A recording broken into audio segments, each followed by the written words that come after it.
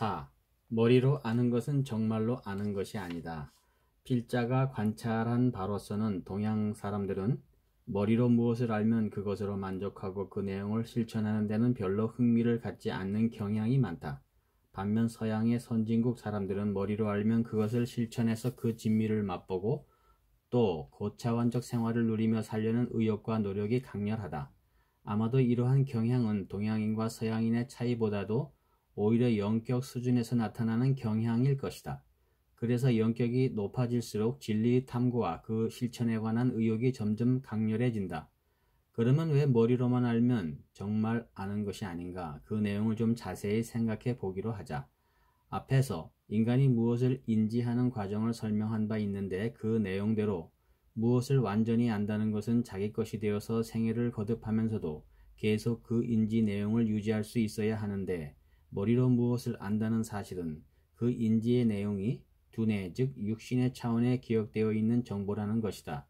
그러므로 그 사람이 한 생애를 마치고 죽음에 이르게 되면 육신에 기억된 각인된 기억은 육신과 함께 모두 사라지고 마는 것이므로 그 다음 생에 태어나면 기억이 완전히 소실되어 그 지식을 새로이 배워야 되는 것이다. 그러나 그 인지의 내용을 계속 생활해서 실천해서 재능 수준으로까지 지신에 동화시키게 되면 그 인지 내용은 육신 차원의 기억이 아니라 지신 차원의 구조적 변질이 일어나게 되므로 생애를 거듭하여도 없어지지 않는 자신의 능력으로 완전히 자기의 것이 된다.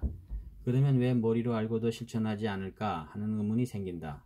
원래 자연의 이치는 무엇을 확실하게 알면 자연적으로 실천하고 싶고 또 실천되는 것이 자연 현상인데 무엇을 머리로 알고도 실천이 안 되는 것은 사실 따지고 보면 그것은 내용을 완전히 알지를 못했기 때문에 그런 것이다.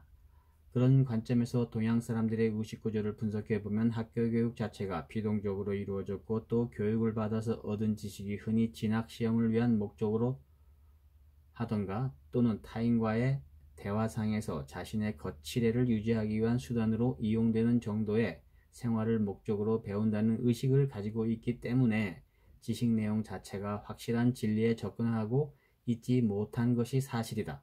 그래서 필자가 대학 강단에서 가끔 학생들에게 아주 쉬운 상식 문제 정도의 내용에 관해서 그 확실한 정의를 말해보라고 질문하면 대답할 수 있는 학생이 아주 드물다. 그러므로 현재의 교육은 그 내용과 방법에서 큰 문제를 안고 있음을 우리는 잘 알고 각성해야 될 것이다.